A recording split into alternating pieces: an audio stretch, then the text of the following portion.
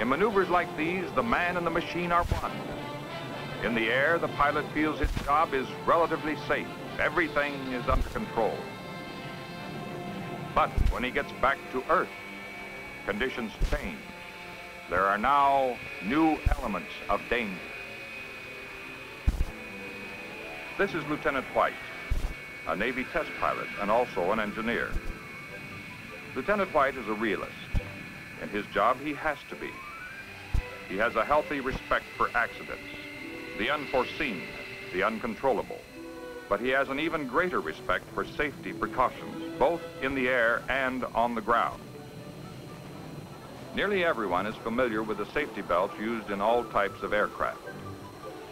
Their effectiveness has been proven by years of testing and actual use, not just in the air, but also on the ground, where we drive or ride in that most lethal of wheeled wonders, the automobile. This, then, is a film about safety through seat belts. Lieutenant White plans to protect the lives of his family on the road. He does not expect to get into a serious accident, for he is a careful driver. But he is also a man influenced by facts, and the brutal facts about auto mortality are now painfully clear. Despite the improvements in both roads and cars, incorporating many performance and safety features, the auto accident toll in human life continues to mount until it has now reached over one and one half million injuries each year. And contrary to popular belief, death-dealing collisions are not all high-speed accidents. 73% of them occur at moderate speeds within a 30-mile radius of the victim's home. A young mother and two children died in this one. They were on their way to nursery school when their car was rammed at an intersection. The mother and her three-year-old son were crushed in the impact. The five-year-old died in the arms of the rescue squad. A doctor on his way to surgery was fatally injured here. He suffered compound fractures of the skull. He was dead by the time he reached the hospital. This senseless waste of human life, such deadly violence ensuing from what appeared to be minor collisions, led research groups such as the Institute of Transportation and Traffic Engineering of the University of California to conduct a series of auto crash tests. This is a unique kind of research in that an experimental collision is by nature a one-shot operation requiring a great deal of preparation, only a few seconds duration, and many months of detailed analysis to evaluate the findings.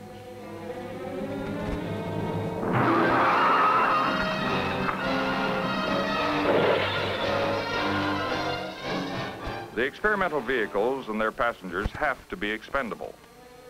Collisions are inherently dangerous and human subjects are not easily located.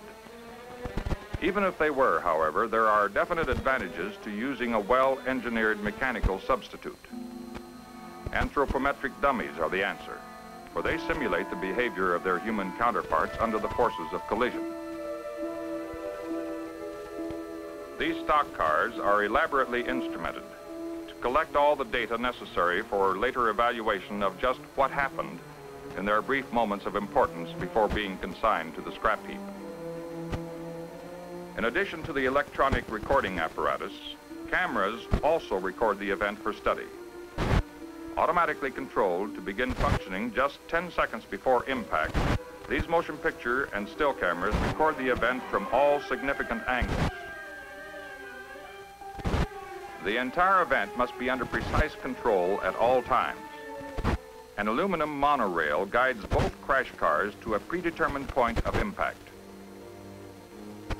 Each crash car will be paced by a manned vehicle, carrying the recording oscillographs and other control equipment. The final two days are the most critical. Everything is checked and rechecked. They cannot afford any malfunctions when they have only one shot and even so, things do go wrong. Then it is still another ordeal of checking and testing every device, every connection, until all human error has been eliminated. The countdown finally begins. All the preparation is finally concluded with a simple command. All clear. Commence run.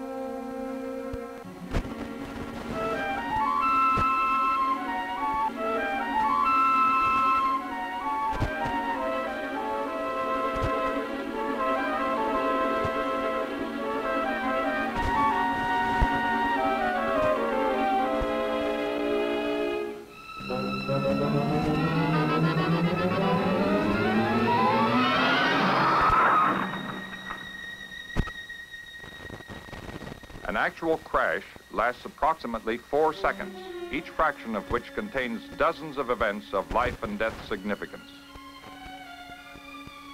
Although the cars are traveling at 30 miles an hour, the slow motion camera prolongs the action of the overwhelming lateral forces of this typical intersection collision.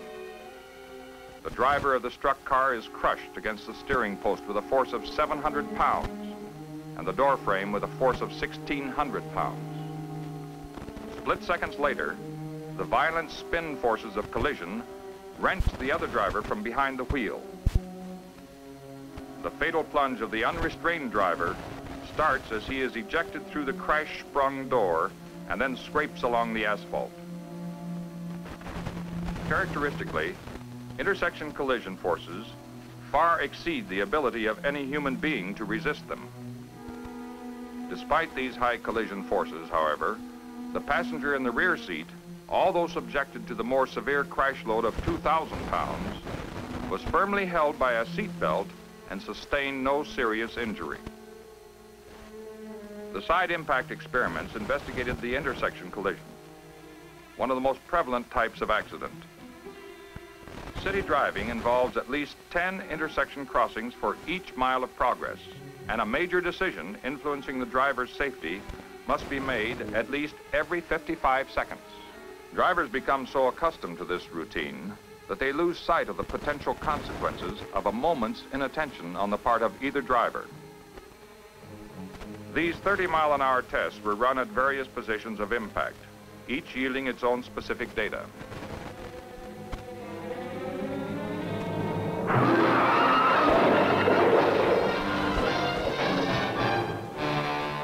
Throughout the various experiments, one fact was clear. In any accident, there are really two collisions. One between the vehicles involved, and another, often more serious, between the occupants and the interior of their own vehicle. The forces measured on the various parts of the body at impact were obviously far outside the limits of man's ability to control his own actions. These were precisely the kind of facts that they were after. From out of the twisted mass of steel, from out of the action-packed few milliseconds, after all safe driving practices had already been passed, when man no longer had control and was only a passenger in a lethal missile coming to a screeching halt.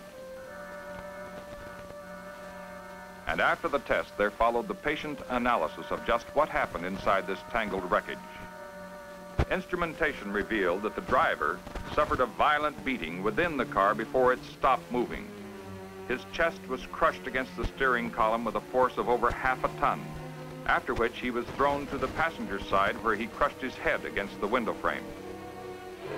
When the other car turned over, the driver was thrown against the roof, where the ragged metal carved away a portion of his face. Any of the blows he suffered could have been fatal to a human being. The rear passenger, restrained by a safety belt, sustained only minor contusions and abrasions. The moral for all who witnessed the event was pretty clear. But when you add it all up and write all the reports, what does it mean to us, the motoring public? Recent studies conclusively prove to the American Medical Association that safety belts diminish the extent of injury and definitely improve the crash victim's opportunity for survival. The National Safety Council confirms that safety belts are the most practical device available at this time to minimize accident injury during a collision.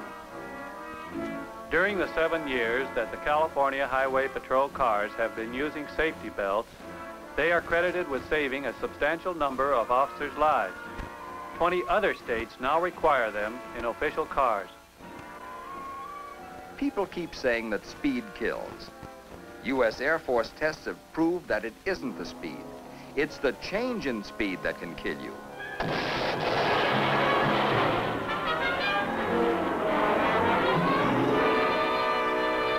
Properly restrained, the human body can withstand enormous stresses. Public Health Service agrees with other agencies concerned with safety that the use of safety belts is the most effective practical means for bringing about an immediate reduction in deaths and injuries from automobile accidents.